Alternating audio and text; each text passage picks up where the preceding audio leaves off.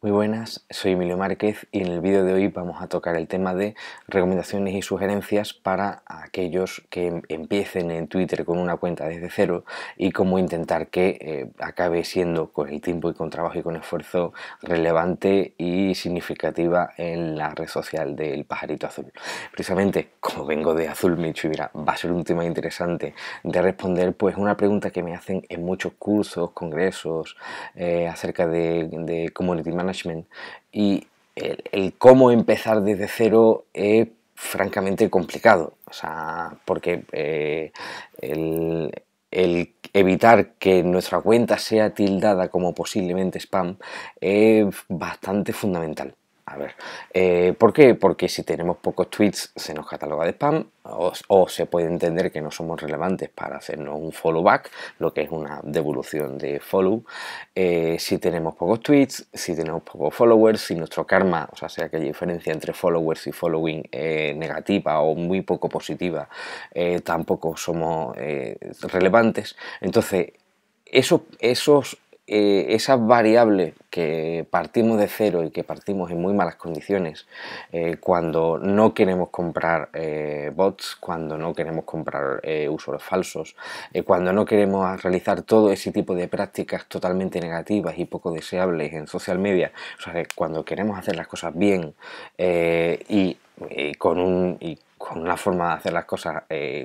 que es lo suyo, razonable, o sea, vamos a crear una cuenta que, que publique buen contenido, obviamente la calidad del contenido es eh, de los detalles fundamentales para poder triunfar en redes sociales, si no tenemos un buen producto, marca o servicio o muy buen contenido eh, que unir a nuestra marca a través de branding content, eh, si no es muy bueno, lo tenemos francamente complicado para tener un éxito real en redes sociales, pero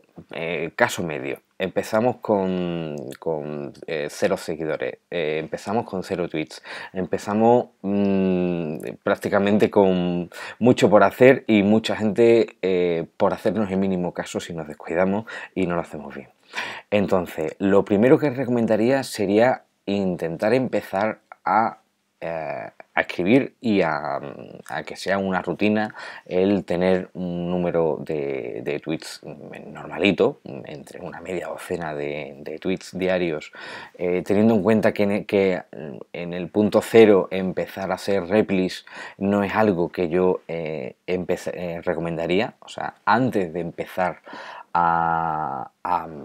ir ahí por gente que no nos conoce y que van a ver que tenemos el perfil con cero tweets y con cero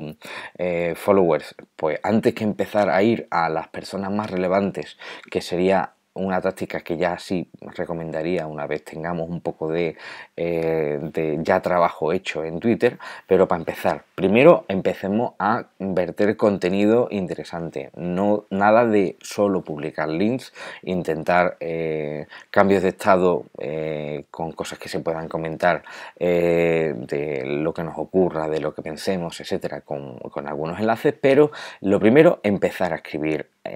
tweets hasta que no tengamos un número mínimo de 100 tweets eh, publicados, eh, cualquier persona que eh, cuando interactuamos con ella vaya a nuestro perfil y vea menos de 100 tweets, mm, de pensar cuenta recién creada, una posible cuenta fake o falsa, mm, una posible cuenta robot, mm, cuidado, no le voy a hacer un follow back. O os te mirarán no muy adecuadamente, con lo cual el publicar los 100 primeros tweets a, a un ritmo mínimo o medio de media docena de tweets diarios es una buena forma de que nos pilla a los 10 días eh, de haber empezado a publicar tweets. No nos importa si no tenemos eh, demasiada repercusión, ni retweets, ni favoritos, ni interactuamos con mucha gente, porque lo primero es habituarnos a publicar contenido en Twitter y una vez que nos hayan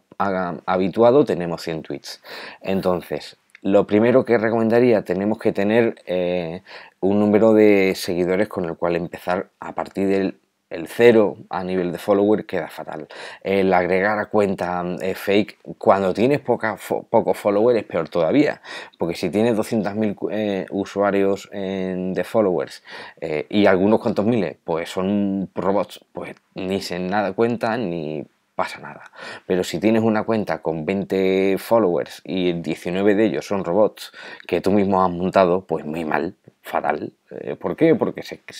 se, nota. Entonces, eh, lo primero, personas reales.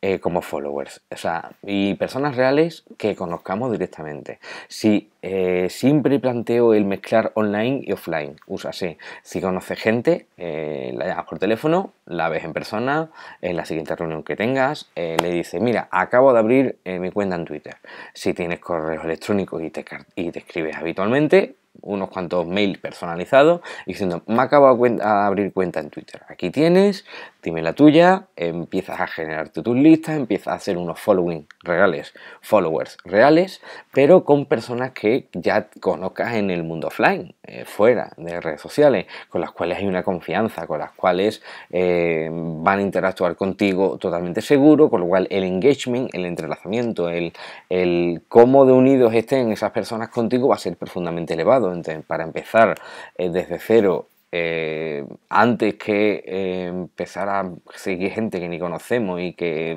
eh, Dios sabe si alguna vez vamos a interactuar con ellos alguna vez en la vida, pues mira, primero personas reales, primero personas con las que conozcamos, tengamos contacto, tengamos una confianza y le decimos, mira, tengo cuenta en Twitter. Entonces, cuando van a tu cuenta en Twitter, ven que tienes más de 100 tweets publicados, con lo cual nos encontramos que ya entienden que eres, una cuenta que te conocen personalmente y que estás activo en Twitter, con lo cual eh, el, porcentaje de eh, conversión de esas personas reales a convertirla en followers reales es bastante elevado. Entonces, que eh, de cara al ROI, al retorno de inversión, el que gastemos un tiempo en conseguir esos followers reales de gente que conocemos, la inversión será un poco más alta, pero si la, tasa de conversión en followers reales muy, de buena calidad mm, también es muy alta, pues el retorno de la inversión posiblemente será muy positivo. Empezamos con contenido 100 tweets, pasamos a contactos que conozcamos reales, que, con las que podemos tener un contacto personalizado y personas con las que confianza, que son los primeros followers con los cuales empezamos a generar lo que es el grupo core de contactos. Entonces, a partir de tener eh, unos followers, mm, los que sean pocos, pero que cuando se le pueda hacer una investigación se vean que es una cuenta con unos followers reales interesantes, que ya llevas publicado un par de centenares de tweets, con lo cual ya tienes bastante contenido vertido. A partir de ahí ya te puedes plantear estrategias de vamos a interactuar socialmente, que pasó una red social Twitter muy interesante y muy en tiempo real, vamos a interactuar con personas que las que tenemos menos confianza o simplemente son relevantes en el sector y no las conocemos, pero ¿qué ocurre? Que cuando interactúes con esas personas ya tendrás contenido, ciento y pico tweets, y cuando eh, te miren el perfil ya verán que tendrás unas decenas o centenares de followers. Con lo cual, el haber partido de cero en una táctica en la cual no podemos meter la pata porque simplemente es publicar tu contenido tranquilamente, no nos, no nos agobiemos en el principio, simplemente es pillar rutina y práctica y consigamos los primeros followers totalmente reales y de confianza e interesantes. A partir de ahí empiezas a hacer repli, empiezas a entrar en conversaciones con personas con menos confianza o muy relevantes que no conocen, que no conocen personas, pero da igual que están relevantes ahí para interactuar con ellos. Y entonces el, el esos primeros contactos no conocidos, que, pero que son relevantes, porque a lo mejor tú trabajas en, un, determinado sector de negocio, en un determinado nicho, te hace una lista de las 50, 100 cuentas de Twitter con las que tienes que interactuar, pero con ellas no interactúes hasta que no tengas el primer centenar de tweets publicados, ya que hasta que no tengas el primer centenar de followers totalmente Mm, eh, pero que sean personas que interactúen contigo de forma continua. Entonces, después de la primera fase de generación de contenido y generación de primeros followers eh, de calidad, a partir de ahí empezamos a interactuar con otros eh, usuarios de Twitter, los cuales no verán más nuestra cuenta porque tiene contenido y tiene followers reales. Con lo cual, una táctica de un mes de comienzo muy relajado, muy tranquilo, pero mucho trabajo offline, con contacto de confianza, y a partir del segundo mes tenemos una cuenta interesante, eh,